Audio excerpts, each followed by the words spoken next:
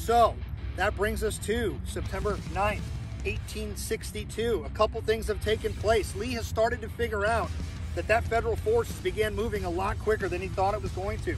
There's been skirmishing at Monocacy Aqueduct, at Hyattstown, uh, at Urbana. We have now wounded soldiers from some of those skirmishes making their way to hospital scenes. We know with Urbana just being a few miles down the street that it's on like Donkey Kong, as we've said on this show from time to time. And then Lee has another problem. When he's crossed into Virginia, I'm sorry, when he's crossed into Maryland from Virginia, he's left 10 to 12,000 Union soldiers at his rear. We have a Union garrison at Harper's Ferry. And essentially, this is right at the very bottom of the Shenandoah Valley. Remember, valley's upside down. Bottom, top. So, why is that significant, Matt? Because we have what? The breadbasket of the Confederacy at this point. Food and other resources that are potentially to be cut off, communication lines that could be potentially cut off. And at, at most, Lee's escape route. If he has to get back into Washington like that, well, I'm sorry, back into Virginia like that, He'd like to go to Washington. he would like to go to Washington. That's Jube's story in 64. We'll be back in a couple years with that one. But essentially, he can't just jump across the river because even though he would outnumber that force tremendously, 10,000 men are going to slow you down. Because here in 1864, we learned that lesson, right? Because we have 12 to 15 to 18,000 Confederates that about 6,000 Union troops stopped dead in their tracks for a full day. Well, what would that have meant potentially to Lee in 1862? So he knows he has to do something about this. So on September 9th, 1862, Special Orders number 191 is written. Matt, what is Special Orders number 191 and what is it not? 191 is a marching order. It is going to divide Lee's army into two big chunks, but also several smaller operations as well.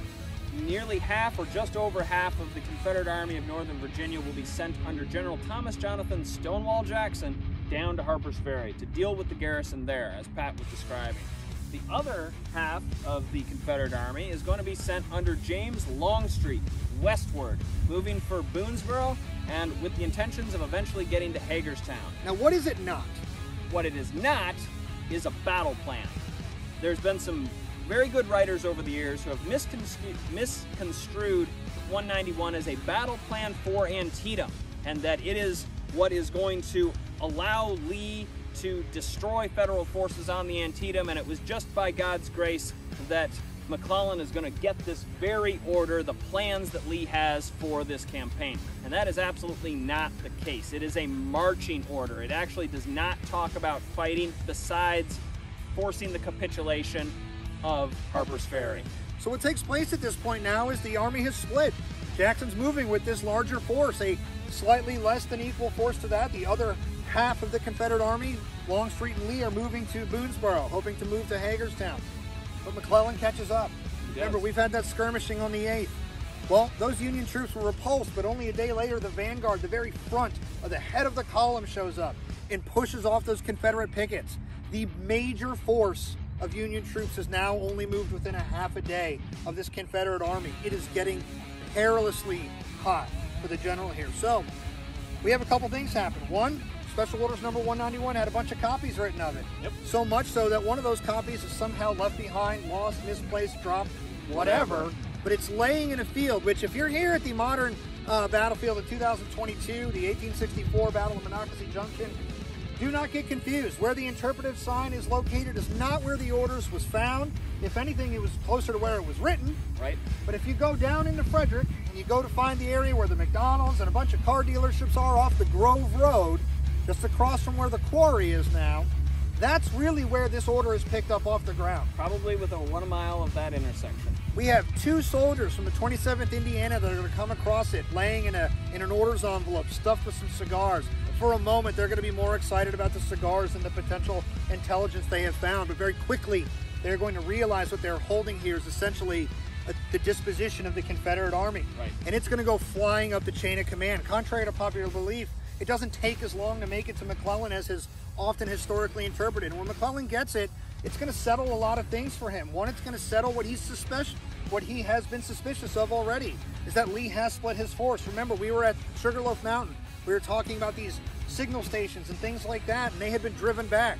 Well, guess what? The federal troops have reoccupied these positions and been able to see multiple columns of dust rising in the distance, suggesting large movements of bodies, troops, columns, things like that. So it's going to confirm what he kind of has already been suspicious of. Two, it's going to, the way Lee's operating with these orders, it's going to confirm some bad intelligence he's been getting. Pinkerton, Pleasonton, a lot of the guys feeding uh, General McClellan intelligence about the numbers of Confederate forces and things like that are going to tell him he potentially is facing down 200,000 Confederates and things like that. And the way the orders are kind of written is going to confirm that for McClellan. Now we know that historically is not the case. Right. But in 1862, old George thinks that this is definitely this is definitely what he thinks it is. He calls him old George, but he's actually Pat's age. He's yeah. At this point, he's my age. I'm 35, but but he's also pretty confident in what he's got because he knows that he's not too far behind, and he does have confidence in the force that he now commands. And we have some quotes, right? We have that very famous, I hold here a paper with which, if I cannot whip Bobby Lee, I am willing to go home. It's well, bold statement. But he basically says, like this, this, this information is so solid that if I can't get this guy out of here, I shouldn't even be here. Right. Which, you know, we'll get to the rest of that story. But very quickly, we start to move into the actual battles of this campaign because we're only leaving this area now on the 12th, right?